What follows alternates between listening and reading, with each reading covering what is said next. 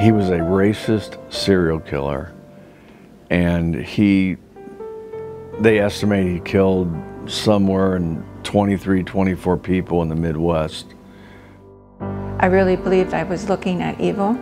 I was really, I believed at that moment um, uh, that I was talking, the devil was working through this man.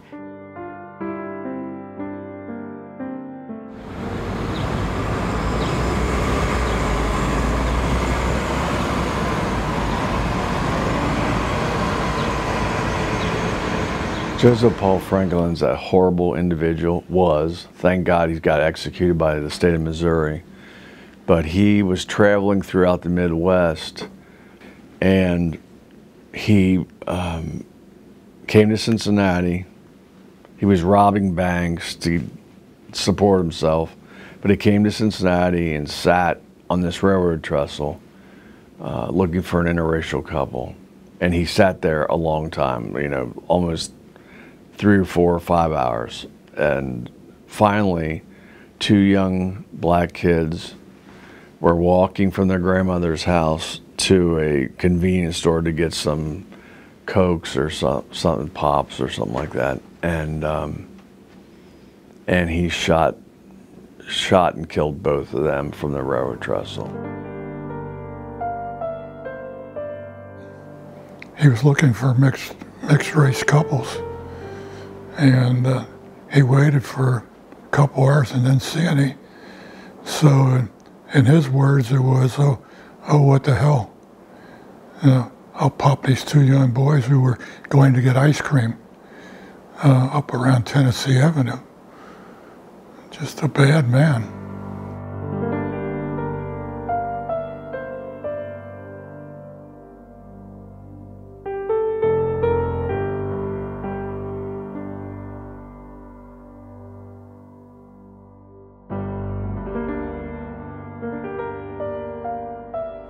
He would never admit to Cincinnati. He was confessing to a lot of murders.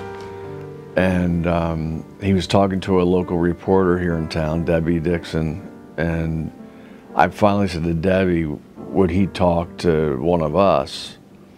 And Debbie said that he would never talk to man, men. He hates men.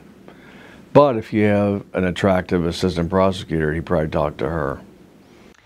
Um, well, at first I thought I was going to be um, the lawyer, the trial attorney um, on the team that was going to prosecute Joseph Paul Franklin. And um, it's nothing that Joe said, it was my interpretation of, of being told about the case.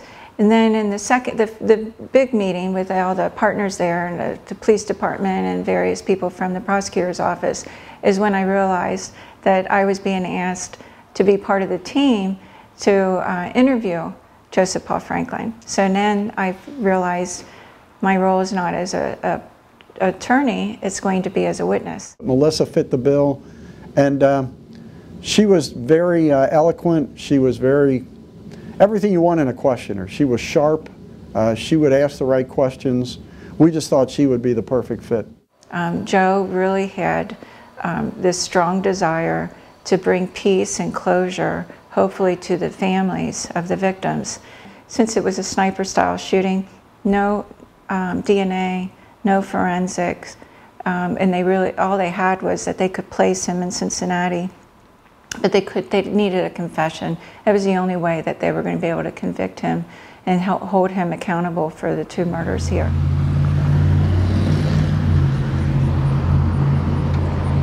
Uh, Missy and Mark Piepmeier, one of my investigators, went to Missouri, where he was on death row, by the way, for another couple murders.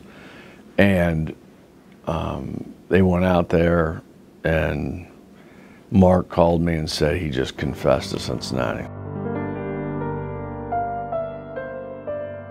I said, why did you shoot the two boys? And he says, well, I was I wanted the interracial couple. That was that's what he wanted and uh, he got tired of waiting. So he was indicted.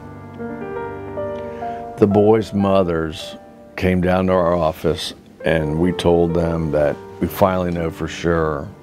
We always suspected it, but we finally knew for sure that Joseph Paul Franklin had shot their boys. We tried the case. Uh, he was found guilty. Judge Winkler sentenced him to life in prison, and then we shipped him back to Missouri where ultimately he was executed.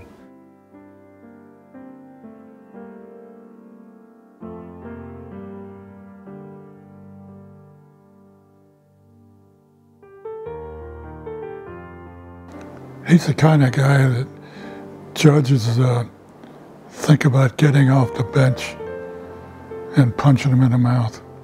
You know, I had a duty to do. I did my duty. It caused me some problems afterwards emotionally um, and during, where, but at the same time, um, it was all worth it. We're here to serve, and that's what we did. I can't imagine what it's like to have your little boy killed, shot in such a violent fashion because of the color of his skin. I'm just glad he's gone.